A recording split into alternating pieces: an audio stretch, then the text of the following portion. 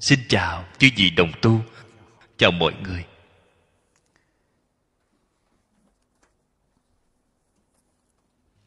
Xin mời mở kinh thập thiện nghiệp đạo ra, trang thứ mười.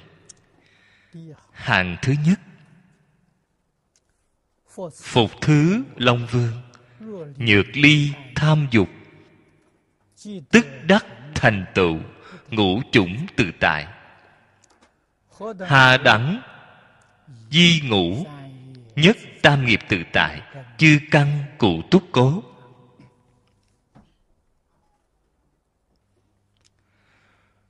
Điều này tuy phần trước đã nói rồi. Cái nghĩa lý này cảnh giới sâu rộng, vô cùng. Có thể nói, vĩnh viễn không thể nói hết. Phật nói bộ kinh này, bộ kinh này không dài. Ở trong cuốn sách nhỏ này của chúng ta,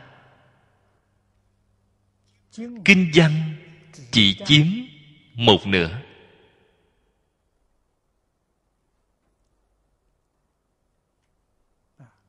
Nhưng nó là lời giáo huấn, căn bản của thế tôn đối với tất cả chúng sanh. Nếu như không cố gắng tu học từ trên căn bản,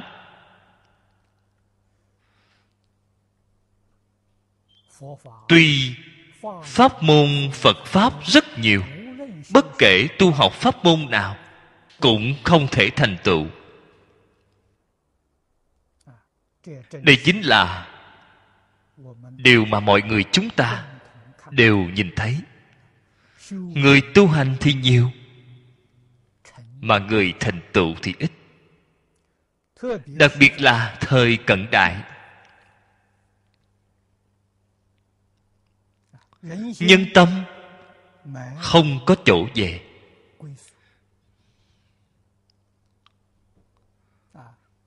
Người không có chí hướng. Rất dễ dàng bị cám dỗ. Liền đọa lạc ngay. Trước đây có cũng không phải thiểu số. Nhưng hoàn toàn không thật phổ biến. Hiện nay có thể nói vô cùng phổ biến. Trong một dạng người mới có một vài người không bị cảnh giới bên ngoài cám dỗ. Không đọa lạc là vô cùng hy hữu. Cho nên hãy quan sát từ chỗ này. Chúng ta đối với cái mà người tây phương gọi là thế giới ngay tận thế là có thể tin được. Bộ kinh này là nói cho chúng ta biết cái đạo lý lớn, chân thật về nhân quả. Người sống ở đời, phật nói cho chúng ta biết có hai loại người. Loại người thứ nhất là phàm phu sáu cõi. Quá khứ tạo nghiệp, đời này đến thọ báo cho nên phật nói ở trong kinh, nhân sinh trả nghiệp. Bạn trong đời quá khứ tu phước thì đời này đến hưởng phước. Bạn trong đời quá khứ tạo tội nghiệp, tạo ác nghiệp thì đời này đến chịu khổ, chịu nạn. Đây là phạm phu. Loại người thứ hai là giác ngộ rồi chư phật bồ tát đến thế gian này để làm gì vậy? Đến cứu khổ, cứu nạn. Người cứu khổ, cứu nạn chịu đau khổ còn nhiều hơn người bình thường chúng ta. Họ đến thị hiện, họ đến làm tấm gương cho chúng ta thấy. Quên mình vì người. Thế gian này có hai loại người như vậy chúng ta thuộc vào loại nào? Đương nhiên, chúng ta là thuộc về nghiệp báo. Chúng ta là phàm phu.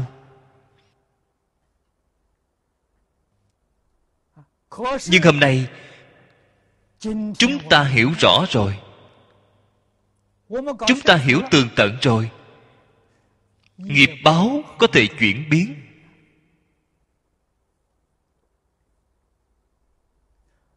Nếu như đem nghiệp lực chuyển đổi thành nguyện lực. Người này là chuyển phàm thành thánh. Là giới chư phật bồ tát thừa nguyện tái lai, không hai, không khác. Đây chính là tu bồ tát đạo mà chúng ta thường nói. Tu đạo thành phật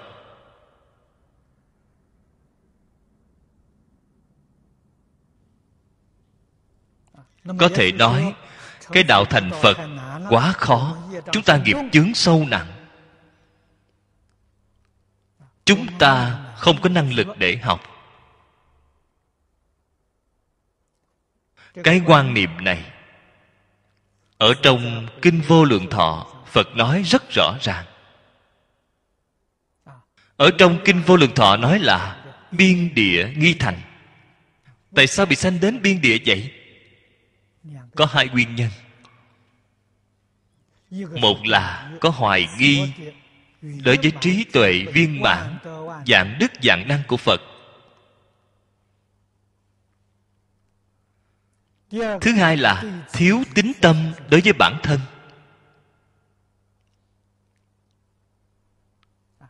Nhưng mà cũng rất cố gắng nỗ lực niệm phật, cầu nguyện giảng sanh. Họ vẫn được sanh tịnh độ, sanh vào biên địa.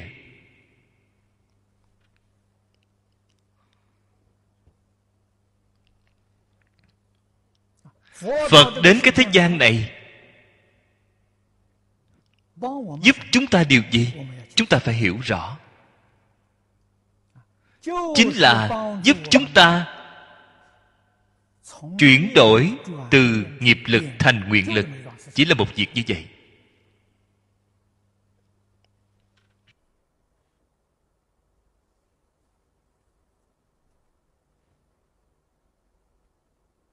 Cách chuyển như thế nào? Lý luận của chuyển đổi ở trong tất cả kinh luận đều nói rất nhiều rất nhiều. Bạn chuyển được bao nhiêu? Chuyển được đến trình độ như thế nào? Đó là công phu của chính bạn.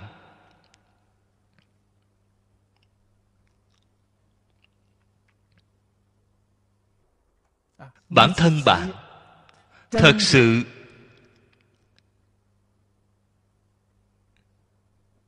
y giáo phụng hành. Nghiêm túc, nỗ lực. Sửa đổi tập khí. Từ bỏ phiền não. Y giáo phụng hành. Bạn chắc chắn chuyển lại được. Phật thị môn trung hữu cầu tất ứng khi tôi mới vừa học phật, vừa vào cửa phật, đại sư chương gia liền đem những đạo lý này dạy cho tôi. Những người này không phải người phạm đối với người bình thường, vừa tiếp xúc liền biết ngay. Không những đại sư chương gia, vì sao cam châu. Cũng đã nói với tôi, cam châu là học trò của chương gia. Họ ở sau lưng tôi, cũng phê bình tôi. Vào thời đó tôi chưa xuất gia.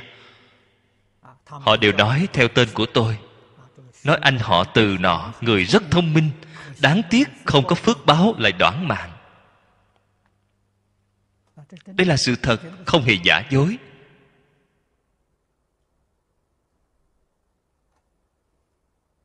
Không có phước. Chuyển đổi thành có phước. Không có thọ mạng. Chuyển đổi thành có thọ mạng.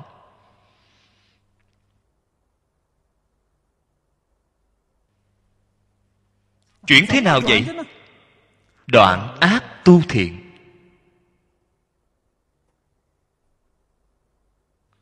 Lão cư sĩ lý bỉnh nam nói rõ ràng hơn thấu triệt hơn. thầy đứng giữa bạn học chúng tôi nhìn thấy người diện mạo rất kém. Chúng ta thông thường gọi là tướng đoạn mạng. Tướng không có phước báo. Thầy khuyên họ học giảng kinh. Lão sư lý nói cho chúng tôi những học trò này biết. Công đức của giảng kinh là lớn nhất chuyển cái nghiệp lực này nhanh nhất.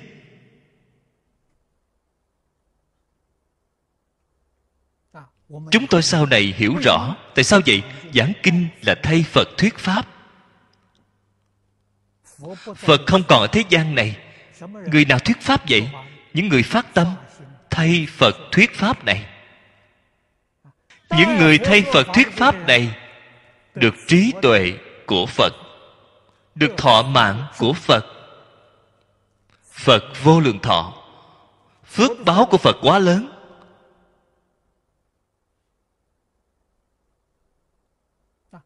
Là đem nghiệp lực của mình chuyển đổi rồi, hoàn toàn chuyển đổi. Tương thử thâm tâm phụng trần sát thị tác danh di báo phật ân.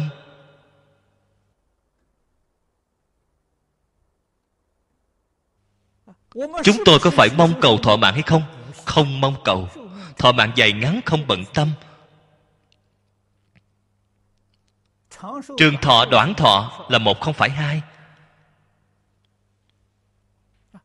Vấn đề là ở trong một đời này phải có được thành tựu. Thành tựu gì vậy? Dứt sanh tử xuất tam giới là thành tựu có thể giảng sanh tịnh độ, gần gũi a di đà phật, đây là thành tựu đứng hàng đầu. Tất cả chư phật đều tán thán. Chúng ta làm sao được đây? Quên mình vì người.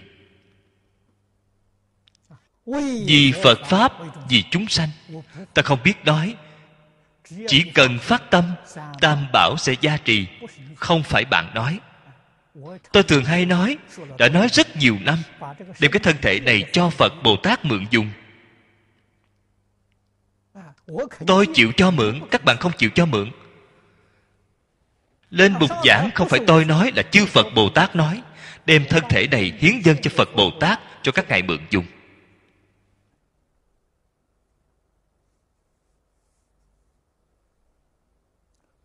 Chúng ta nên phát cái tâm nguyện này. Phải hiểu được cái đạo lý này. Hiểu rõ cái chân tướng sự thật này. Đối với bản thân xả cho thật sạch sẽ. Hồi phục tâm thanh tịnh. Hồi phục đến thanh tịnh tịch diệt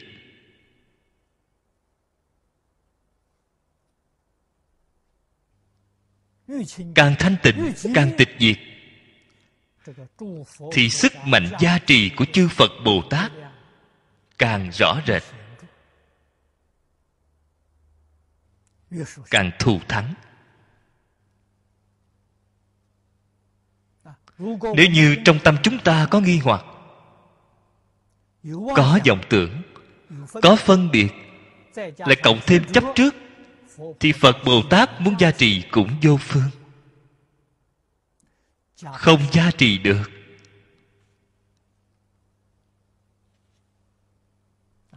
Cái đạo lý này nhất định phải biết. Được thân người, nghe phật pháp là thù thắng không gì bằng. Hãy lợi dụng thời gian ngắn ngủi này, vĩnh viễn thoát luân hồi nếu chúng ta thử nghĩ, chư phật bồ tát vì cái nguyện lực gì? Tâm nguyện của các ngài là gì?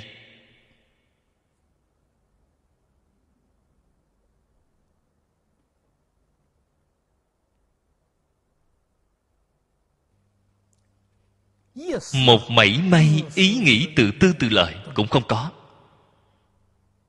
Nguyện lực của phật bồ tát là rộng độ chúng sanh hy vọng mỗi một chút sanh nhanh chóng làm phật. Hoàn toàn không hy vọng bạn đợi đến bao nhiêu kiếp về sau hãy thành phật. Vậy thì đâu phải là từ bi. Phật là dạy chúng ta lập tức liền thành phật. Chúng ta có thể lập tức thành phật hay không? Đáp án là chắc chắn. Tại sao bạn không thể thành phật vậy? Không tin. Không tin năng lực của phật.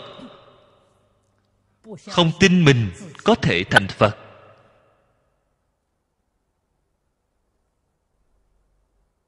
Hơi bị cảnh giới bên ngoài cám dỗ, liền lập tức đọa lạc. Lập tức thối tâm, đổi tâm rồi.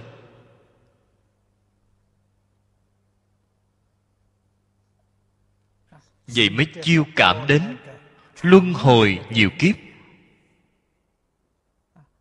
ngày nay, người trên thế gian này, tại sao dễ dàng đổi tâm như vậy? Tại sao dễ dàng đọa lạc như vậy? Là đã mất đi nền giáo dục thánh hiền. Người vào thời xưa, tại sao có thể giữ gìn được? Từ nhỏ được tiếp nhận. Nền giáo dục luân lý đạo đức.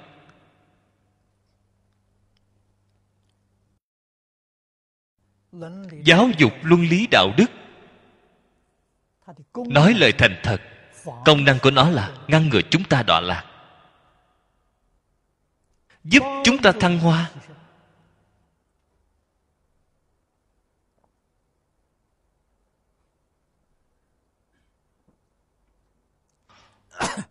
Một trăm năm gần đây nhất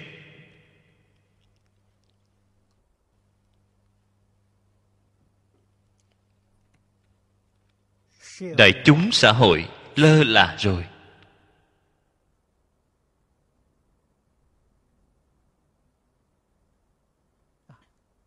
Tất cả nhìn hướng về danh lợi. Tôn sùng tranh danh đoạt lợi.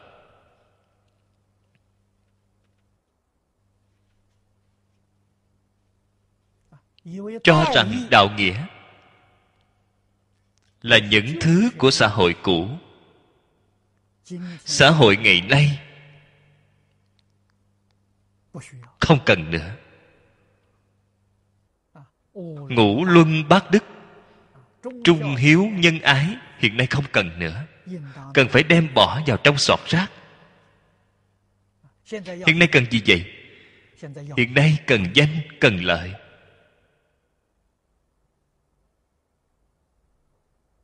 trong con mắt của người hiện đại buông thả dục vọng tranh lợi. Người trên toàn thế giới đều bạc mạng tranh lợi. Chúng ta nhìn thấy rồi nhanh chóng tránh xa cái chỗ này. Lời cổ nhân nói có đạo lý. Nguy ban bất cư loạn ban bất nhập hiện nay cái địa cầu này đã nguy lại loạn. Người thông minh nhanh chóng nghĩ cách di dân. Di đến nơi nào vậy? Di dân đến thế giới cực lạc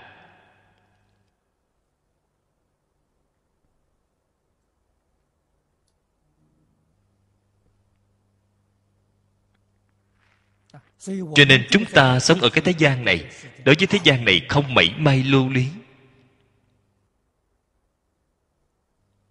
Lúc nào cũng muốn đi lúc nào cũng có thể đi được.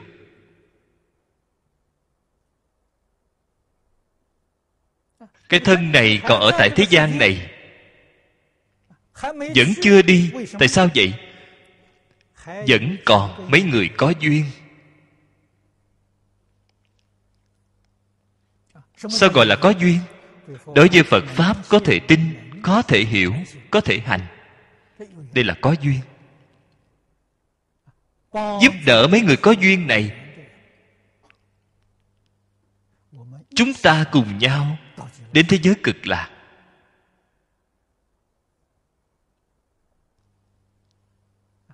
Trong kinh luận thường nói, phật không thể độ người không có duyên. Các vị phải hiểu rằng, có duyên chính là người trung quốc gọi là hiếu học hiếu học chính là có duyên. Ở trong kinh luận thường nói, thọ trì đọc tụng, vì người diễn nói.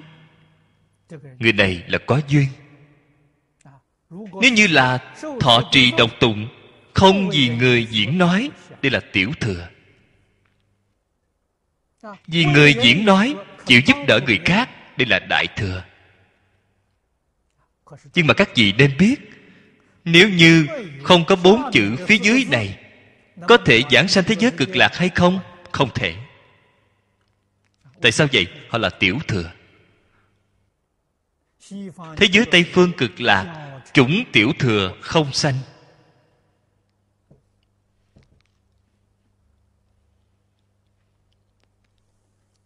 Chúng ta cũng nhìn thấy rồi, có một số cụ ông cụ bà niệm phật giảng sanh, tướng lành hy hữu, họ không có gì người diễn nói.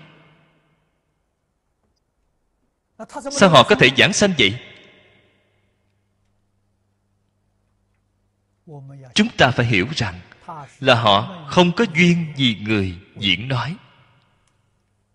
Chúng ta ngày nay nói là họ không có đủ cái điều kiện này, không phải họ không có tâm nguyện. Họ có tâm nguyện mà họ không có cái điều kiện này họ có thể giảng sanh.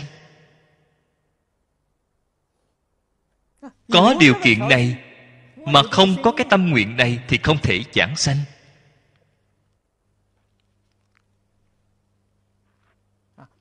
Mỗi một người giảng sanh đều là tâm đại thừa đều là tâm đại bồ đề. Tâm đại bồ đề niệm niệm muốn giúp đỡ tất cả chúng sanh tuy không thể giảng kinh thuyết pháp cho mọi người, nhưng khi gặp người đều khuyên họ niệm a di đà phật, vậy là được rồi. Không được phép nói, khi gặp người không thèm quan tâm, bản thân ta niệm a di đà phật, họ mặc kệ, ta đến thế giới cực lạc, cứ họ mặc họ đọa lạc, người này không thể giảng sanh.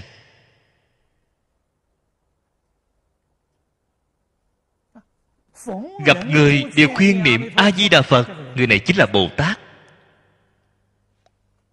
có thể đem đạo lý phương pháp niệm phật giảng cho rõ ràng giảng minh bạch.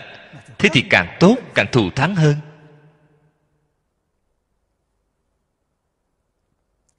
Cho nên tâm bồ đề không thể không phát.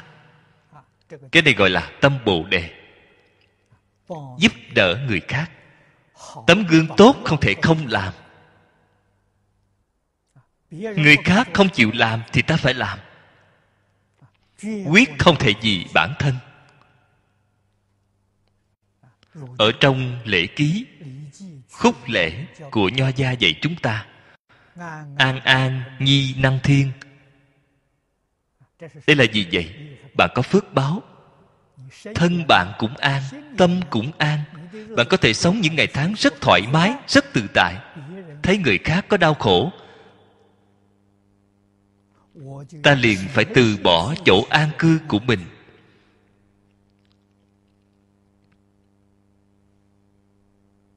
Mà bôn ba vì người khổ nạn. Không thể nói hoàn cảnh đời sống này của bản thân ta vô cùng an nhàn. Tại sao ta phải từ bỏ? Tại sao ta phải sống những ngày tháng khổ sở này? Sống những ngày khổ sở này, người ta nghe ta dạy thấy còn tốt không nghe dạy, thế ta chẳng phải bị thiệt thòi sao? Người ta nghe phải dạy, không nghe cũng phải dạy. Khổ cực như thế nào, dày dò như thế nào cũng phải chịu. Quên mình vì người. Cho nên nhất định phải hiểu cái đạo lý này. Quả báo của bạn đây là xả ly tham dục.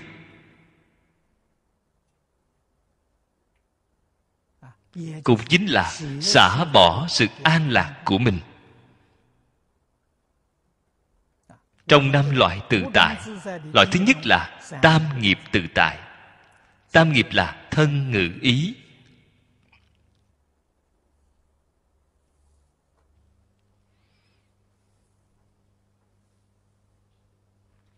Thân không bệnh, thân tự tại. Khẩu nghiệp thanh tịnh.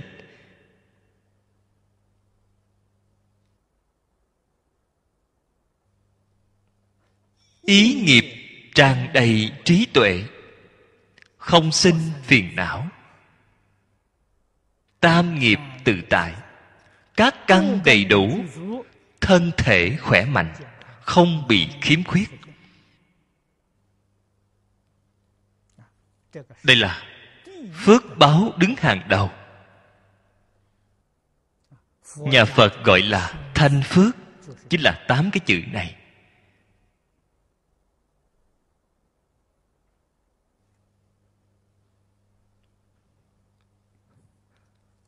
Đoạn này chúng ta chỉ giảng đến đây. Ngày mai giảng tiếp với các vị. Cái tự tại thứ hai là tài vật tự tại hữu cầu tất ứng. Tốt rồi. Hôm nay chỉ giảng đến đây.